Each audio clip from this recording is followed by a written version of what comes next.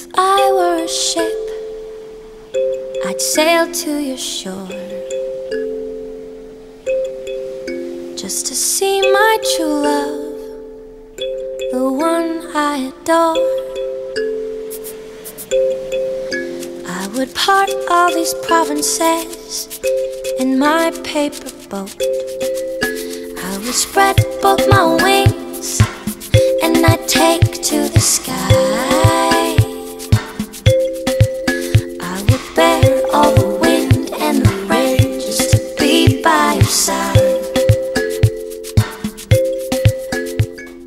In search of the words